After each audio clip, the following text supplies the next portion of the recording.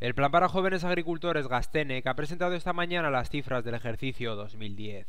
El programa puesto en marcha por el Gobierno vasco y las tres diputaciones busca el rejuvenecimiento de los agricultores y ganaderos que trabajan en el campo vasco.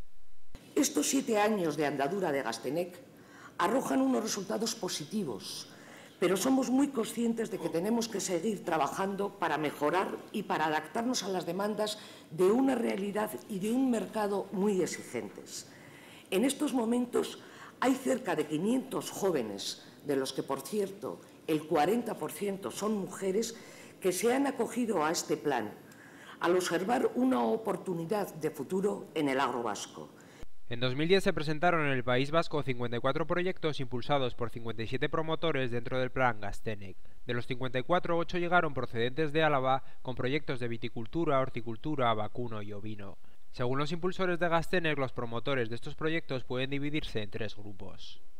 Todos ellos suponen incorporación de nuevos activos a, la agricultura, pero eh, eh, algunos son porque es un relevo generacional claro, pues hay un paso de, titularidad entre normalmente familiares o es gente que se incorpora a una, instalación que ya existe, un nuevo socio en una, explotación, o quizá los más valientes de todos, aquellos que de la nada crean su propia explotación.